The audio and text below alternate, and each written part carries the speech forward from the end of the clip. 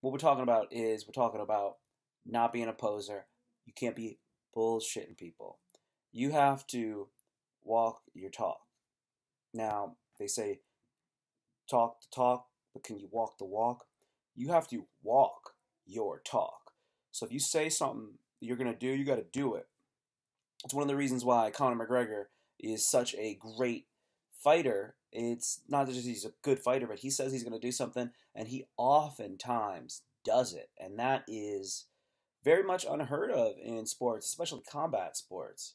Like one of the big things was when Babe Ruth like pointed to the outfield uh, back in the day, and then he then he hit a home run. He's like, "I'm gonna hit a home run," and like people were getting freaked out, man. I'm starting to get goosebumps just talking about it. You can't just be pointing like, "I'm gonna do this thing to you. I'm gonna knock you out in the third round," and then you knock him out in the third round.